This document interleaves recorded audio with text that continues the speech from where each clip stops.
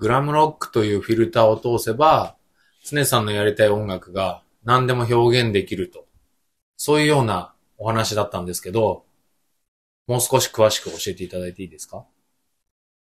そうですね。えーまあ、さっきも言ったように、えーグラムロックの重要な要素が、70年代に起きた、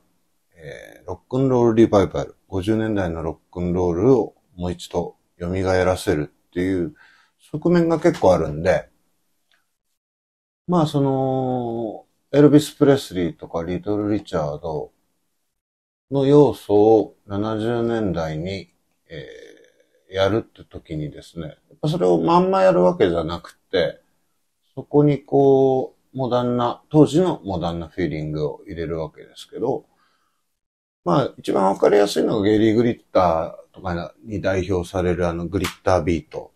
ドットタッタドットタッタってあのシャッフルのね。まあ、あれに乗せてやれば大体グラムになるっていうのはあるんですけど、まあ、ディスコと似てるかな？ディスコってあの、四つ打ちで、まあ、例えばボニーM がサニーやってたりとか、あとロックステディもそうでしょ？やっぱりあの、いろんな曲をロックステディのリズムでやる。で、それは自分割とやってる、自然とやってるんですけど、そうですね。えーまあそのロックンロールリバイバルの要素に、あというポイントと、あとはやっぱりそのトランスセクシュアルというか、中性的なのがグラムロックの魅力なので、がならない、そっと歌う、うん、ちょっと女性っぽく歌うっていうのは心がけてて、女性っぽくではないな、中性的に歌う。心がけてるっていうか、もうそうとしか歌えなくなってて、もうちょっと怒鳴ったりとか、シャウトみたいなちょっと無理になってきちゃったんですけど、20年もやってると。でもやっぱり音楽をねちっこく聴くっていう癖があって、そうするとですね、やっぱり世の中にあるロックってそんなにシャウト実はしてないんですよね。レコーディング物は。まあ、ジーン・ヴィンセントとかウィスパーボイスし、あの、イギーポップ、ストゥージーズの Search and Destroy、よく聞いてもらったらわかると思います。ボーカルめちゃくちゃそっと歌ってるんですよ。 street walking cheetah みたいな感じで。あの、すごいあれってこう吠えてるイメージがあるんですけど、ストゥージーズ全般的にほぼ囁きです。そっと歌ってる。で、マーク・ボランも当然そっと歌ってるし、だその辺を意識してますね。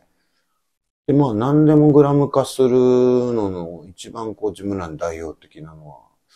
何年前か忘れたんですけど、A レコードから出た、ディスチャージの曲をグラムにししてやったのが、まあ結構いろんな人から好意的に撮ってもらったんですけど、えー、90年代にメロコアとかサイコビリーでいろんなカバーがあったと思うんですけど、大体みんな早くするんですよ。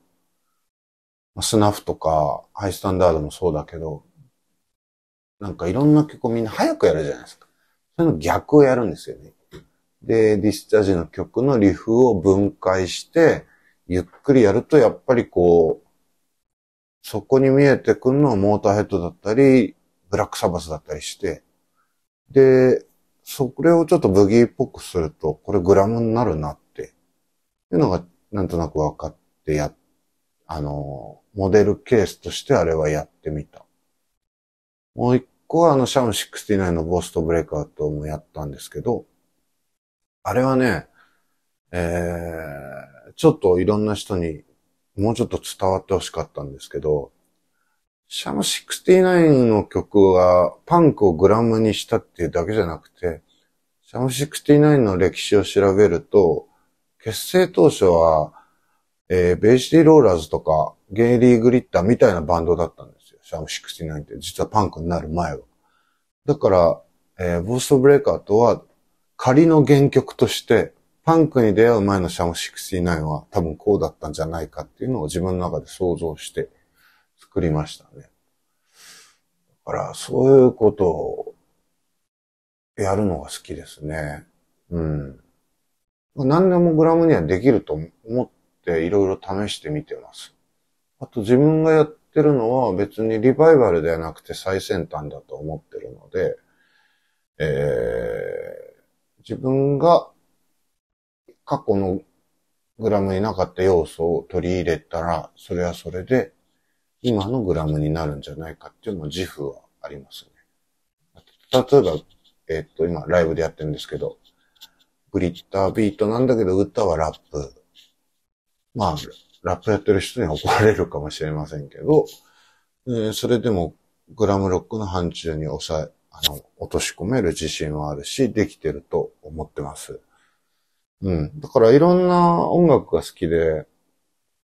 うーん、いろんな音楽を聴いてるんですけど、これなんとかグラムかヤングパリジャンかできないかなっていうのはいつも思ってて。今、チカノソウルとか、ま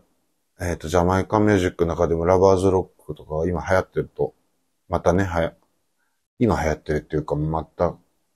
トレンドとしてリバイバルしてると思うんですけど、そういうのもなんかこう、自分らのバンドの要素の一つに入れれないかなっていうのは常に考えてますね。